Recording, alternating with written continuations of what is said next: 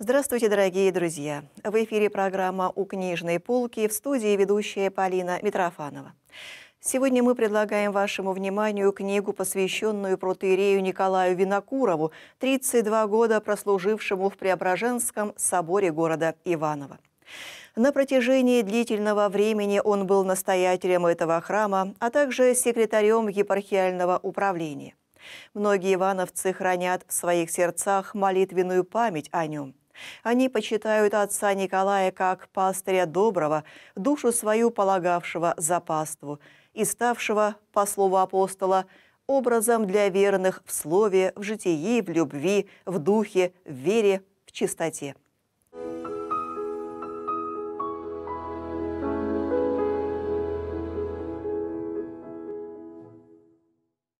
Книга «Образ верным памяти протеерея Николая Винокурова» вышла в свет в издательстве «Синтагма». В ней собраны воспоминания людей, любивших и чтивших отца Николая, а также его проповеди и кандидатская диссертация, защищенная им в Московской духовной академии. Книга составлена по инициативе депутата Государственной Думы Федерального собрания Российской Федерации Валерия Викторовича Иванова, который на протяжении многих лет хорошо лично знал отца Николая Винокурова. В ее материалах отразилась целая эпоха жизни Ивановской, а впоследствии Иваново-Вознесенской епархии – по словам митрополита Иванова Вознесенского и Вичугского Иосифа, важно понимать, какие люди и как трудились на церковном поприще в те непростые годы.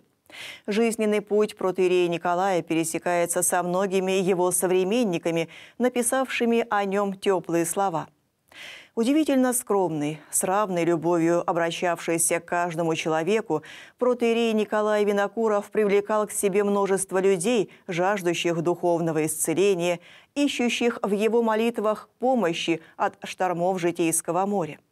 Он говорил очень просто. Вот как он всегда обращался к людям, еще не верующим, но желающим прийти к вере. «Я мог бы много всего вам говорить, но если Господь не коснется сам вашего сердца, если вы не переживете этой встречи с Богом, то все мои слова о вере будут напрасны. Сам отец Николай верил глубоко и искренне, и эту радость общения с Богом стремился разделить с другими людьми. Очень скромный, он никогда не стремился сделать какую-то карьеру. Однако Господь поставил его на достаточно ответственное церковное послушание секретаря епархиального управления и настоятеля кафедрального собора. Хотя протеерей Николай Винокуров и тяготился административными послушаниями, но он вполне с ними справлялся. Как вспоминал назначенный в 1988 году уполномоченным Совета по делам религий по Ивановской области Богородский, я мог убедиться в том, как точно, тактично и вместе с тем настойчиво и твердо вел отец Николай сложные переговоры с чиновниками, преодолевая заскорузлость старых представлений об отношениях церкви и государства. Более 25 новых приходов было зарегистрировано за сравнительно небольшой срок на территории области. Отец Николай любил всех, и его любили все. Не только собратья-священнослужители, но и партийные, советские, исполкомовские работники, с которыми сводила его жизнь.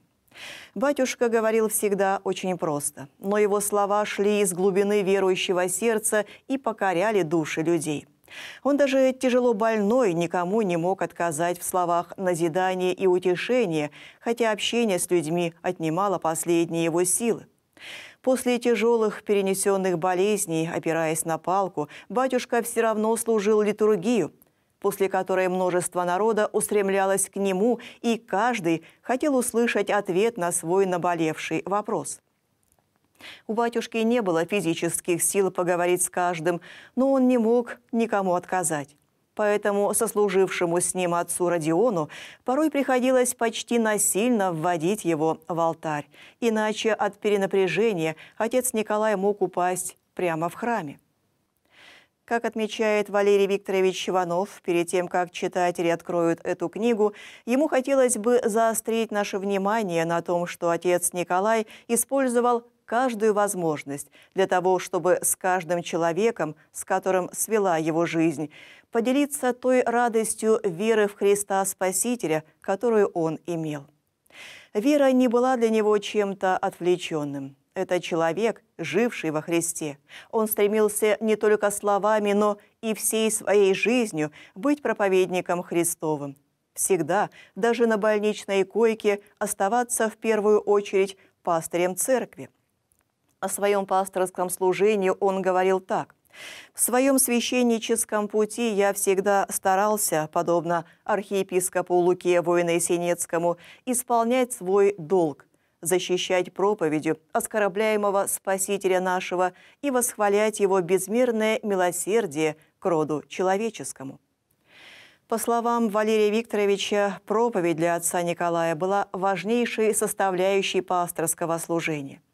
Это служение проповеди и не только словом, но и самой жизнью было пронесено отцом Николаем через все дни его земного бытия. Когда появилась возможность в 1990-е годы обратиться к читателям через страницы ивановских областных газет «Рабочий край» и «Ивановская газета», отец Николай использовал эту возможность настолько широко, насколько это только было возможным. И люди ждали газет с его проповедями. Валерий Иванов вспоминает, что некоторые специально покупали по 30-50 экземпляров, чтобы раздать своим знакомым. Многим помогли найти свой путь к вере статьи на духовные темы, опубликованные отцом Николаем в светских печатных изданиях. А в 1996 году его проповеди вышли в виде отдельной книги. Сейчас среди обилия духовной литературы проповеди отца Николая могут показаться чем-то устаревшим, тем, что много раз было сказано и написано разными людьми но это поверхностный взгляд. Убедиться в этом можно, прочитав проповеди отца Николая в этой книге. В издание включены все сохранившиеся проповеди батюшки, а также его диссертация на соискание степени кандидата богословия, посвященная гомилетическому наследию архиепископа Филарета Гумилевского. Книга «Образ верным», по словам издателей, не просто венок благодарной памяти дорогому сердцу очень многих людей пастырю, не просто исторический памятник начала массовой духовно-просветительской работы в Ивановской области в 1990-е годы через страницы региональных газет, это и возможность соприкоснуться с уникальным духовным опытом отца Николая, неотделимым от общецерковного опыта, наследием человека, для которого любовь к Богу и людям были средоточием жизни.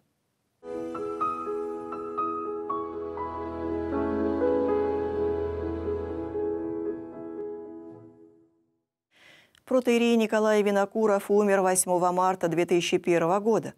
Проститься с ним пришло множество народа. Его духовный отец и друг, архиепископ Ивановский и Кенишемский Амвросий сказал об усопшем.